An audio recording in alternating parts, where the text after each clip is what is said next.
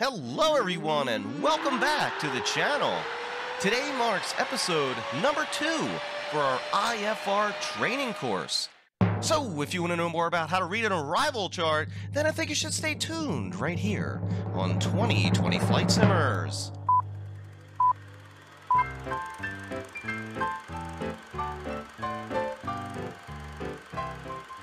So let's dive right in here. Oh, and by the way, if you are new to the channel, don't forget to go down below and hit that subscribe and tick that little bell. If this video does help you out in any way, smash on that thumbs up button. It really helps us get found by viewers like yourself. And if you guys have any questions throughout the video, please post those down in the comments section and I will get back to you ASAP. Alright, so now we're going to take a look at this arrival procedure and we're going to dissect this thing from top to bottom so that hopefully you're going to have a better understanding on how to read this by the time you finish this episode.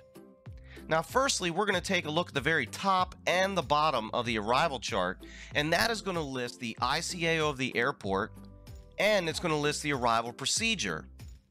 Second, we need to make sure that this arrival procedure that we're looking at is a valid arrival procedure.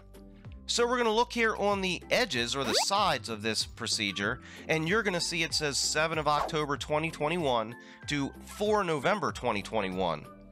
So we always want to make sure we have a valid arrival chart before we try to fly it. So now that we've got those key bits of information out of the way, let's flip this thing on its side so we get a better view of what's going on here. So let's start over here at the top right, and this is going to list all of our frequencies that we're going to be using on this particular arrival. Next, we're going to take a look right here in the center, and this is going to list all of our requirements to be able to fly this particular procedure. Note you must have radar, RNAV, DME, and this is a P56 area.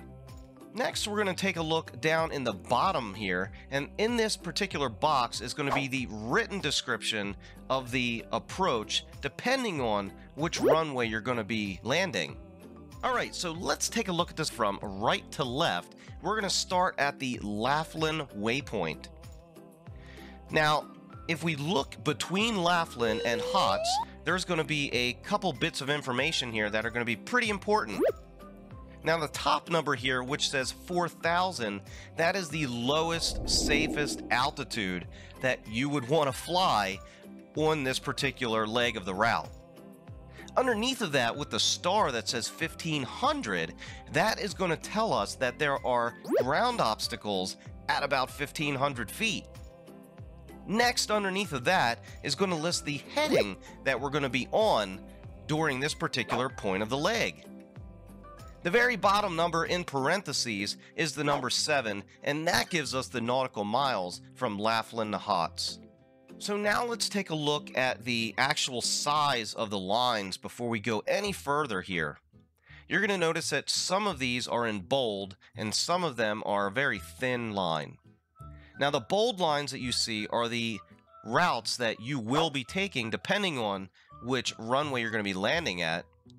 The thinner lines are alternate routes that you could be flying on this particular arrival. So I may not be coming in at Laughlin. I may come in right at the Sipsey transition. All right, so now that you know that, let's get back to the HOTS waypoint to the billet waypoint. Now, between these two particular waypoints, you are going to see a published holding pattern. Now, on this published holding pattern, it gives us a lot of information. One, it gives us the nautical mile leg for the holding pattern. It also gives us the speed requirement in parentheses in the center of this holding pattern. Next, it's going to give us the outbound heading of the holding pattern, which is 95 degrees. The inbound to that holding pattern is going to be your 275 degrees. We're also going to notice the 19 in parentheses between billet and HOTS. That is the nautical mile range between HOTS and billet. So let's move on a little bit further. Between billet and Sipsey, we have some more information here.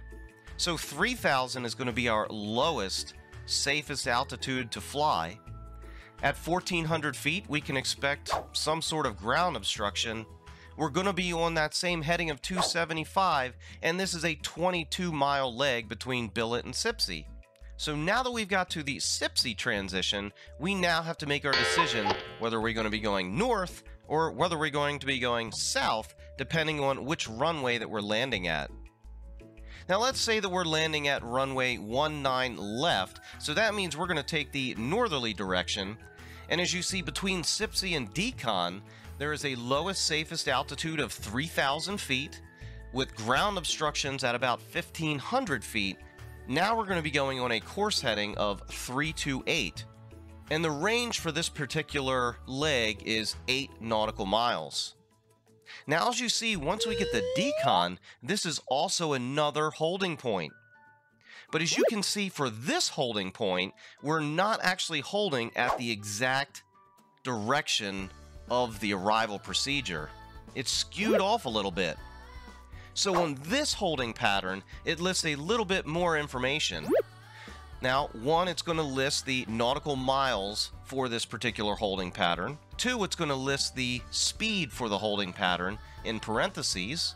Three, it's going to also list your inbound and outbound headings for this particular holding pattern. So the next thing you're going to notice is the waypoint icon is different than the waypoint icon at Revo. Now, the reason for that is, if you have a waypoint icon such as Revo with a circle around it, that tells us that that is a flyover waypoint. Now that must mean that there may be obstructions on either side of that. Now if we look at the waypoint at Decon, it does not have that circle around it, and that tells it's a flyby waypoint so we don't necessarily have to fly directly over it. So I think that's just about going to finish us up for today. If you guys have any questions, please post those down below in the comments section. If you haven't done so already, make sure you hit that subscribe and tick that little bell. And if this video did help you out in any way, smash on that thumbs up button. It's greatly appreciated. Well, to all my flight simmers around the world, keep the blue side up. We will see you in the next one. Thanks for watching, everybody.